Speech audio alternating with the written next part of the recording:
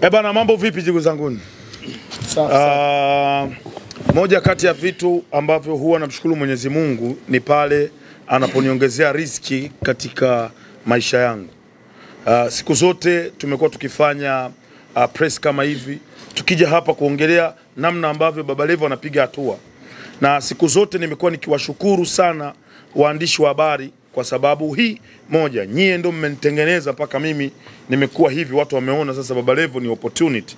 Leo hii uh, mtu kama dalali mwanamke, mtu ambaye anamiliki zaidi ya viwanja elfu kumi sawa, anaona kwamba ili auze viwanja vyake elfu kumi ni lazima kuwe na mtu kama Baba Levo kuendelea kupush biashara yake. So niwashukuru sana waandishi wa habari kwa namna ambavyo mmenitengeneza, mmeni brand mpaka kiasi hichi napata riski, na ndio maana jana jana nilikuwa nabishana na, na, na, na, na mkurugenzi wangu uh, kuhusiana na nani na masuala ya posho, mambo ya murujo, akaniambia ah, Baba Levo, kumbe waandishi wanalipwaga. Nikasema wanafikiri waweza kuja bure wale?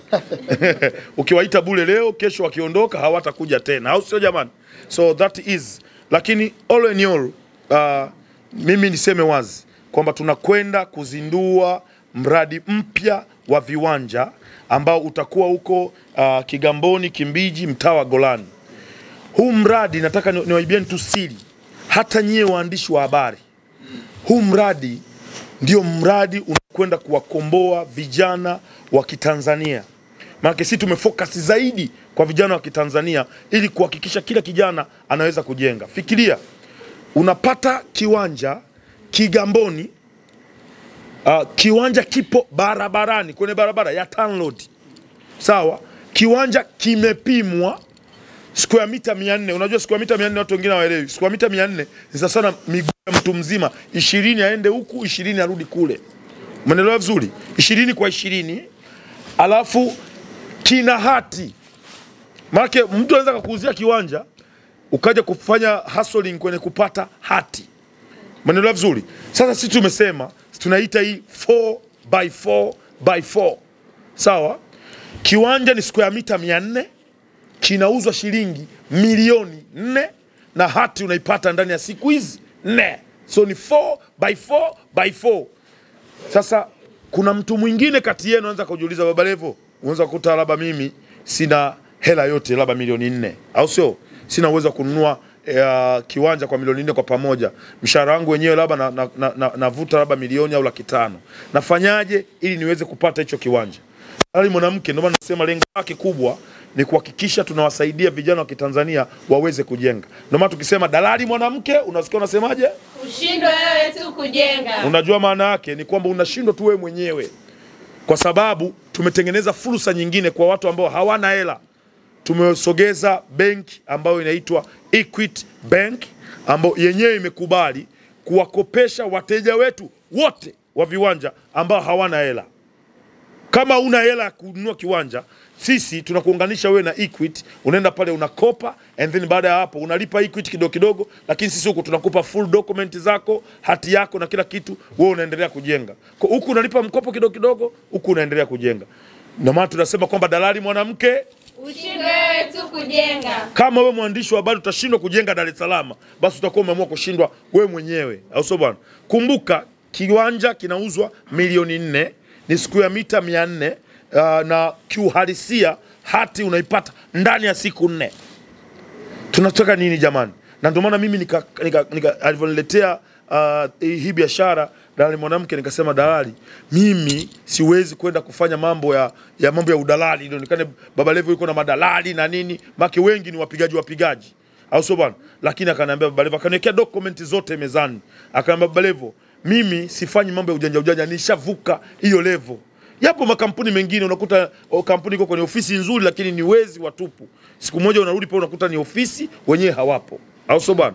Lakini nakuhakikishia asilimia mia moja kwamba kwa dalali mwanamke uh, utakuwa umeshindwa tu mwenyewe kujenga, kwa sababu nimejiridhisha kwamba ni kampuni ambayo ina uwezo wa kuwasaidia vijana wa Kitanzania na imeleta fursa kwa vijana wa Kitanzania pamoja na watu wa kila rika. Tunasema vijana kwa sababu tunajijua vijana sisi ndo watu ambao ukipata fedha una, unawekeza zaidi kwenye mambo ya pisi kali na tungi, au sio bwana? Lakini sasa hivi sasa una uwezo wa kuwa na pisi kali na unaweza ukawa ukawa unakula tungi na huku unajenga mdogo mdogo, kwa sababu uh, Equity Bank wameingia mkataba na dalali mwanamke kuhakikisha wanawakopesha wateja wote sawa, wana ambao hawajapata fedha pamoja au wana hela kidogo, wanataka kulipa kidogo kidogo. Equity wapo kwa ajili ya kusaidia. Kiusema ukweli, dalali mwanamke, nikupongeze sana kwa hilo.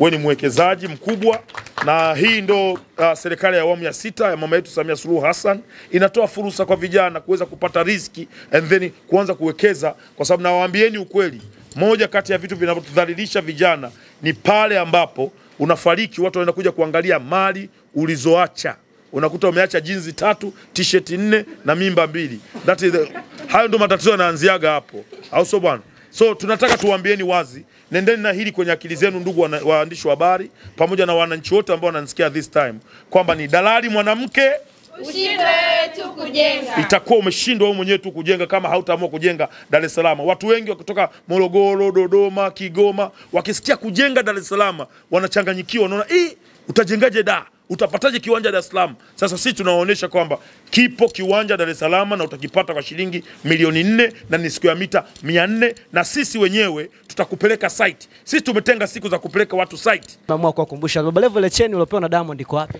Cheni uliopewa na Diamond sio ya kuvaa kila sehemu, ni cheni kwa ajili ya matukio maalum. Utaiona kwenye birthday, utaiona kwenye mambo maalum, lakini uh, ameniletea zawadi ya cheni hizi zingine, hizi zote ni yeye, au? Ah, mimi kwa kweli sasa hivi sitaki kumuuliza tena bei. Mimi akiniletea navaa, najua haiwezi kuwa chini ya milioni kumi, kwa hiyo navaa naondoka, so that is I'm happy. Diamond amekuahidi nini kwenye birthday party yako? hajaniahidi chochote lakini amesema atakuwepo kwenye birthday party au bwana pale upepo. Kwa hiyo uh, naomba mtakuja hapa mtaona ni kitu gani, bora mje muone kama ndo napewa nyumba ni nyumba. Gari yako ile inasemekana bwana umekopa Baba Levo, sio ya kwako, hujatoa hela yako mfukoni. Ah, Sasa kama nimekopa na nimenunua sinakuwa ni ya kwangu, kwani mkopo nini? Kila mtu anadaiwa. Tanzania yenyewe tunadaiwa, ndo nchi itakuwa mimi.